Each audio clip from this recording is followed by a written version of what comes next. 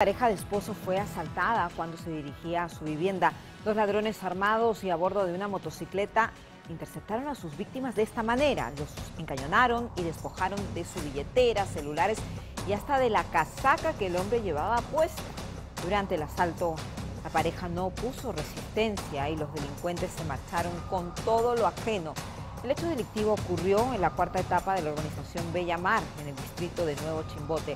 Los vecinos pudieron pudieron identificar a estos criminales también gracias a las cámaras de seguridad y piden mayor seguridad. Esta calle está desolada siempre y se presta para hechos de estas características.